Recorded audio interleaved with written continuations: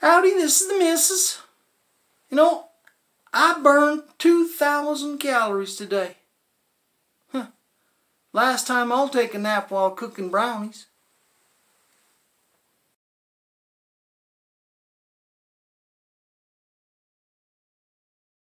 Howdy, today we're still talking about criticism and how you receive it.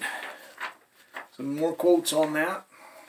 I would not call my friends friends were they to withhold from me the honesty of their disapproval and their loving concern as to the wisdom and safety of the direction of my own journey.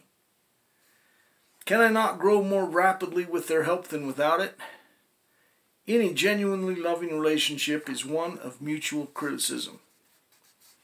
Sometimes it just needs to be done. The trouble with most, most of us is we would rather be ruined by praise than saved by criticism. Norman Vincent Peale.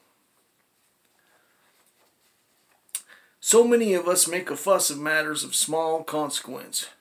We are so easily offended. Happy is the man who can brush aside the offending remarks of another and go on his way.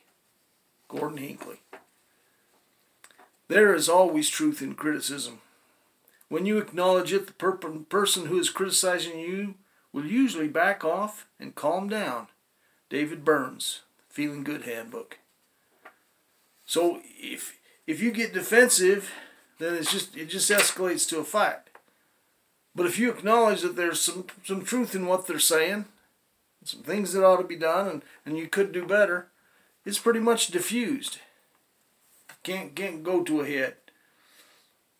Few persons have sufficient wisdom to prefer censor which is useful to them, to praise, which deceives them.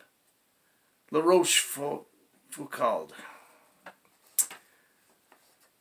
A man should never be ashamed to own that he has been in the wrong, which is but saying that he is wiser today than he was yesterday. Pope. So hit your like and your share, subscribe to this channel, and make some comments to let us know what you're thinking about and if we can do it any better or what you're thinking, what you want to have happen here. Anyway, thanks for listening.